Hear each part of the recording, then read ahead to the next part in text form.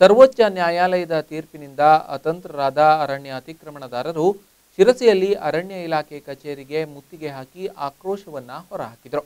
ಅಲ್ಲದೆ ಅರಣ್ಯ ಭೂಮಿ ಅಕ್ರಮ ಸಕ್ರಮ ಪ್ರಕ್ರಿಯೆ ಚಾಲ್ತಿಯಲ್ಲಿ ಇರುವಾಗಲೇ ಅತಿಕ್ರಮಣದಾರರ ಒಕ್ಕಲೆಬ್ಬಿಸುವ ಅರಣ್ಯ ಇಲಾಖೆ ಕ್ರಮಕ್ಕೆ ತೀವ್ರ ಖಂಡನೆ ವ್ಯಕ್ತಪಡಿಸಿದರು. ಅರಣ್ಯ ಕಚೇರಿಗೆ ಮುತ್ತಿಗೆ ಹಾಕಿದ ವೇಳೆ ಕೆಲಕಾಲ ಸ್ಥಳದಲ್ಲಿ ಉದ್ವಿಗ್ನ ಪರಿಸ್ಥಿತಿ ನಿರ್ಮಾಣವಾಗಿತ್ತು. ಪೊಲೀಸ್ ಬ್ಯಾರಿಕೇಡ್ ನೂಕಿ ಒಳನುಗ್ಗಲು ಅತಿಕ್ರಮಣದಾರರು ಪ್ರಯತ್ನಿಸಿದ ಘಟನೆಯೂ ನಡೆಯಿತು.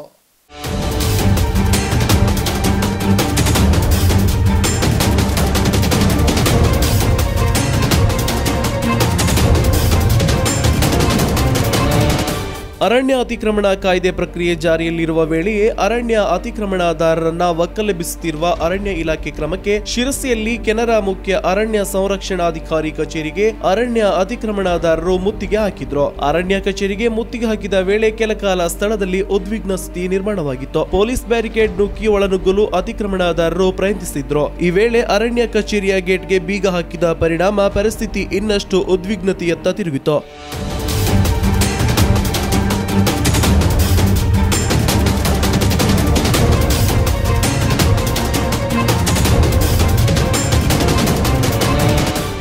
ಪರಿಸ್ಥಿತಿ ತಿಳಿದ ಪೊಲೀಸ್ ಹಿರಿಯ ಅಧಿಕಾರಿಗಳು ಗೇಟಿಗೆ ಹಾಕಿದ ಬೀಗ ತೆಗೆದು ಪರಿಸ್ಥಿತಿ ತಿಳಿಗೊಳಿಸಿದ್ರು. ಈ ವೇಳೆ ಮಾತನಾಡಿದ ಜಿಲ್ಲಾ ಅತಿಕ್ರಮಣ ಹೋರಾಟಗಾರರ ವೇದಿಕೆ ಅಧ್ಯಕ್ಷ ರವೀಂದ್ರ ನಾಯ್ಕ್, ಅರಣ್ಯ ಇಲಾಖೆ ಸರ್ಕಾರಕ್ಕೆ ನೀಡಿದ ವರದಿ ಸುಳ್ಳಿನಿಂದ ಕೂಡಿದೆ ಎಂದು ಆಕ್ರೋಶ ವ್ಯಕ್ತಪಡಿಸಿದ್ರು.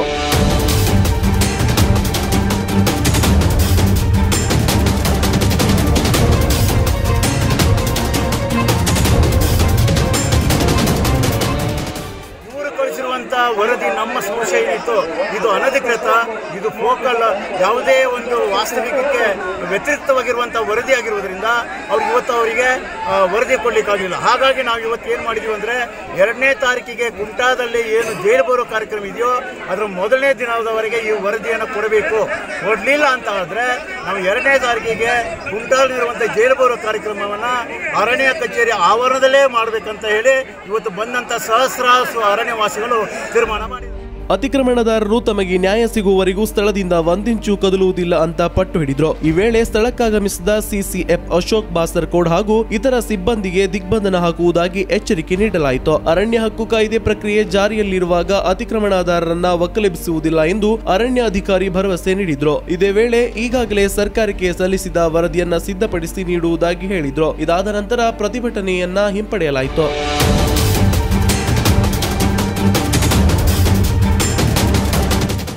ಅರಣ್ಯವಾಸಿಗಳದ್ದು ನಾವು ಈಗ ಒಕ್ಕಲಿಸ್ತಾ ಇದ್ದೀರಿ. ಅರಣ್ಯ ಇಲಾಖೆಯ ಸಿಬ್ಬಂದಿ ದೌರ್ಜನ್ಯ ಮಾಡ್ತಾ ಇದ್ದೀರಿ ಅಂತ. ಅಂಥ ಯಾವುದೇ ಸನ್ನಿವೇಶ ಇಲ್ಲ ನಮ್ಮ ಗಮನಕ್ಕೆ ಬಂದಿಲ್ಲ ಅಂತ ಹೇಳಿ ಯಾಕಂದರೆ ಅರಣ್ಯಕ್ಕೂ ಕಾಯ್ದೆ ಅಡಿಯಲ್ಲಿ ಏನು ಅವರು ಅರ್ಜಿ ಹಾಕಿದ್ದಾರೆ. ಅದು ಅಪೀಲ್ ಆಗಿ ಮೇಲ್ಮನೆ ಸಲ್ಲಿಸಿ ಸಲ್ಲಿಸಿ ಒಂದು ತಾರ್ಕಿಕ ಅಂತ ಲಾಜಿಕಲ್ ಏನು ಅಂತ ಏನಂತೀವಿ ಅಲ್ಲಿ ತಾರ್ಕಿಕ ಅಂತ ಮುಗಿದ ಮೇಲೆ ಅದರ ಅದು ಏನು ಪ್ರಕ್ರಿಯೆ ಪ್ರಾರಂಭ ಆಗ್ತದೆ. ಅಲ್ಲಿವರೆಗೆ ನಾವು ಯಾವುದೇ ರೀತಿ ನಾವು ಒಕ್ಕಲಿಸೋದಾಗಲಿ ಅವ್ರ ಮೇಲೆ ದೌರ್ಜನ್ಯ ಮಾಡೋದಾಗಲಿ ಇಲ್ಲ ಅಂತ ನಾವು ಹೇಳಿದ್ದೀವಿ. ಯಾಕಂತಂದ್ರೆ ನಮಗೆ ಯಾವ ಅರಣ್ಯದಲ್ಲಿರುವವರೂ ಮತ್ತು ಅರಣ್ಯ ರಕ್ಷಣೆ ಅವರು ಬೇಕಾಗ್ತದೆ.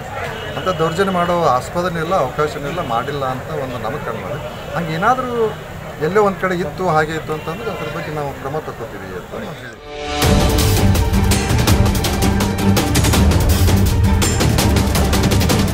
ಸರ್ವೋಚ್ಚ ನ್ಯಾಯಾಲಯದ ತೀರ್ಪಿನಿಂದ ಬಡ ಅರಣ್ಯ ಅತಿಕ್ರಮಣದಾರರು ಬೀದಿಗೆ ಬಿದ್ದಿದ್ದು, ಲೋಕಸಭಾ ಚುನಾವಣೆ ಹೊಸ್ತಿಲಿನಲ್ಲಿ ಸರ್ಕಾರಗಳು ಈ ಅತಿಕ್ರಮಣದಾರರ ವಿಷಯದಲ್ಲಿ ಯಾವ ನಿರ್ಣಯ ತೆಗೆದುಕೊಳ್ಳುತ್ತವೆ ಅನ್ನೋದು ಕುತೂಹಲ ಮೂಡಿಸಿದೆ.